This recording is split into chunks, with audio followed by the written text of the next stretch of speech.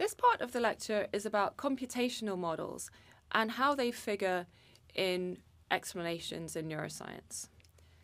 So, firstly, we need to say a bit about what computational models are. Nowadays, they're used pretty much everywhere in science. Um, one really important example is computational models of weather systems.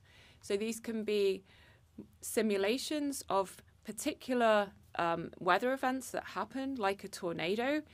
What you have is a set of really complicated dynamical equations about how um, things like pressure and temperature change over time and how these give rise to these wind patterns that swirl around, like in this tornado. But a thing about a computational model of a tornado is that no one would say that the tornado itself is computing anything or that it is a computer. We're happy to say that this is just a simulation, a recreation in digital form of this physical event. What's interesting about computational models in neuroscience is that people go further than that and often go into the claim that the brain itself is performing computations. And that becomes really important in their big picture theory of how the brain gives rise to cognition. This way of thinking about computational models goes back quite far in the history of neuroscience. So here you have some diagrams on the right from McCulloch and Pitts from their seminal work on neural networks in the brain. So in the early days of neurophysiology, already people had the idea that if you think about how neurons signal to one another, causing um, one neuron next to it to activate and um, fire more ac- action potentials because of a signal that it's received, that these patterns of connections could be equivalent to logic gates that are found in digital computers. So McCulloch and Pitt's idea was that the brain is full of these mini logic gates that all together form a big computing system, and that the fact that the brain is doing computing gives you an explanation of how it is that the brain gives rise to cognition. So ultimately, how you think. And you can see that this is an appealing connection to make because if you look at what artificial computers around us do, they're doing us a lot of the jobs that originally we relied on um, thinking human beings to do. Just simple things like arithmetic calculations, nowadays, object recognition, and speech production. All of these cognition like processes have been recreated in machines. And so, if you can say, well, the brain itself is a biological computer, you can explain why a physical system like the brain ultimately gives rise to cognition. So, this hypothesis that the brain itself is an information processor is known as the computational theory of mind. And it's one of the central explanations for the functioning of the brain as the organ of thought. Once you have the idea that the brain is an information processor in place, you can ask and answer different kinds of explanatory questions than you can get from thinking about the brain as purely this causal system of processes which do not have a particular connection with cognition. So I've given some examples of explanatory questions on this slide about why certain things happen in the visual cortex. Now, in answer to all of these questions, you can refer to um, the causal processes of electro electrical excitation and causing certain physiological changes in the brain in response to the input of certain visual stimuli. But at the same time, you can also um, give answers to these questions, which refer to these physiological processes having a role in computational procedures, which are part of a bigger picture theory of what the visual cortex is doing. So, this was an idea that was developed um, a few decades ago by some very influential work from David Marr also in collaboration with Shimon Ullman, who developed this theory of the visual cortex in the book called Vision.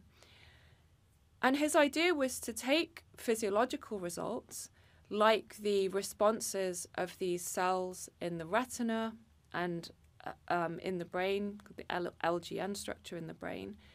Um, they showed these physiological responses to light, and he was modeling them computationally by um, referring to functions like this Laplacian of Gaussian function. So there was this equivalence between the mathematical model and the physiological data.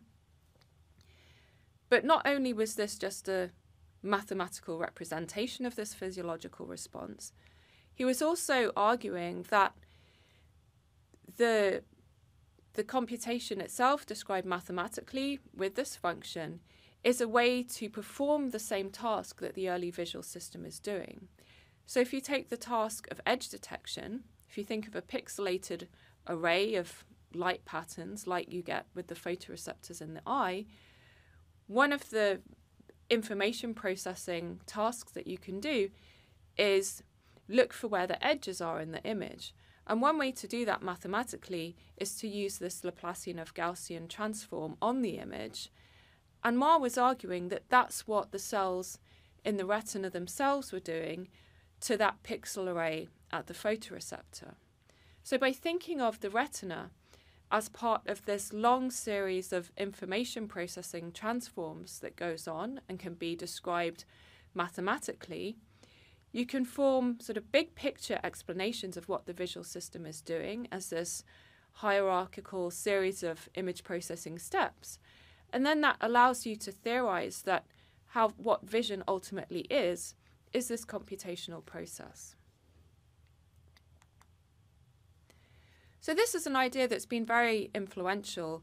This is a textbook from um, Dayan and Abbott talking about different kinds of models in neuroscience. And they draw a contrast between mechanistic models, which des- describe how things work in neuroscience, and interpretative models, which tell you the information processing rationale or functional reasons why something um, should be arranged like this in the brain. So, showing that the purpose almost of certain physiological processes in the brain is there because they facilitate certain capacities which are ultimately cognitive ones, gives rise to thought. Uh, one of the debates that's been going on recently in philosophy of neuroscience is between people that think that all explanations in neuroscience are mechanistic ones, and people like myself, Frances Egan, and Daniel Weiskopf who think that there are some kinds of explanations in neuroscience which are fundamentally not mechanistic ones. And this debate has turned on examples like computational models, where what I and others have been arguing is that you have examples of computational models which do not satisfy the criteria for being descriptions of mechanisms. So if you think back to that 3M mapping criterion, we're saying that that condition doesn't hold.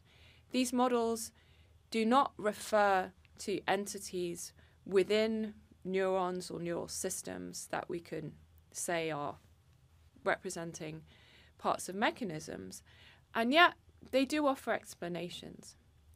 So, this example here is that model of the um, retinal ganglion cell as a Laplacian of Gaussian filter, and it's not depicting any of the parts of the neuron. So it's not describing the neuron in terms of its mechanistic operations.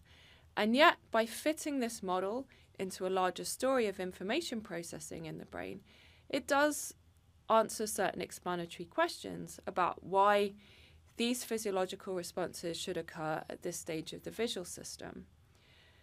So, how I think of this is it's a why question why should the neurons fire in this way, which is similar to the why question that we had at the start of this lecture about why birds migrate. You can t- appeal to the adapt- adaptive and functional um, reasons why certain processes happen in biology because ultimately they enable animals to do certain things. And this is different from the causal explanation of just why does something happen because a certain processes happened before it and had a causal effect.